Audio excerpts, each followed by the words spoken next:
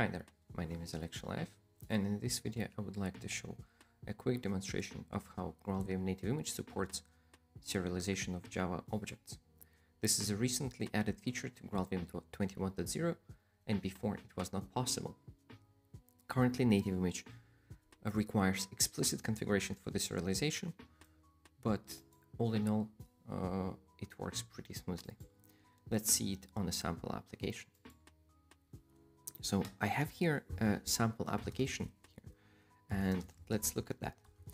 It's an application that generates Fibonacci numbers, and then it the main method here runs through the stream of Fibonacci uh, up to the thousand numbers, and then it writes them out into the output stream, and then it deserializes them into the uh, into the another object and then we ask whether those objects are equal and then we just print the first uh, 10 to just see that it actually the numbers uh, right. So a very simple program and we can run this of course.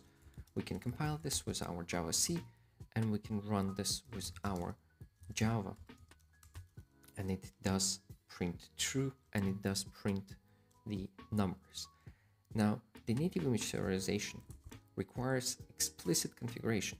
That means that we need to provide the JSON file that will show which classes we do would like we would like to support into the native image executable and support for those classes to be serialized and deserialized.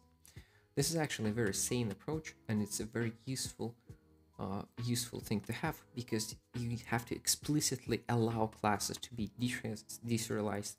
That means a certain number of, vulnerabilities that include deserializing classes, random objects.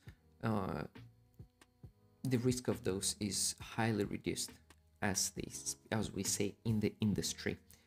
Uh, in the industry. So what we need to do here is we need to create the directories, and I'm going to show you a neat trick uh, as well. Uh, meta-inf native image. I'm going to create the directory called config meta inf native image, and we're going to use that directory to keep the configuration.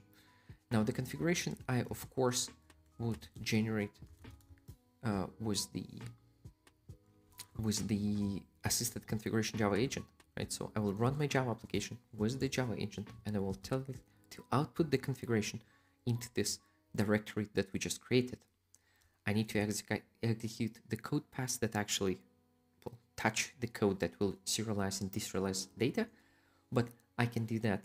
And now if we look into the directory that we created, uh, native image, there is a serialization config JSON file, and that lists the long, the number, and the ArrayList, the three classes that are a part of the serialized, deserialized data that we're gonna run if I would create this file manually, I would probably forgot forget to list the number uh, and the, the, the build would fail.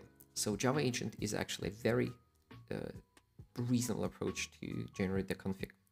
Now we need to build a native image and we do that very straightforwardly. But here's the trick. We pass the class path and we say that the config directory and the current directory will sit both on the class path. So this is actually a very neat trick because our configuration sits in the config directory and the configuration under on the class path under the meta-inf native image directory is picked up automatically by the build. So if we put the config on the class path, then it will automatically uh, make sure that our config meta-inf native image configuration files will be used in during the build process. The same trick you can use if you compile the jar file as well. So you can just specify the class path and specify the folder where you generated the configuration on the command line. So this is a neat trick that uh, I use specifically when I need to generate native image out of jar files and the configuration is not embedded in those but is provided from the outside. So now our application should be almost ready and in a second it should just finish the compiling part of the native image build and write it out. Now we have the main uh, executable here. And what I can do, I can do main, I can just run it. and it would output the same thing that our Java program output.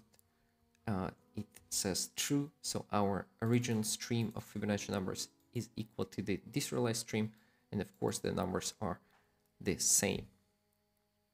So uh, this is how you can use serialization in the GraalVM native image. I hope you like this neat trick with the config directory on the class path and see you tomorrow for a new video.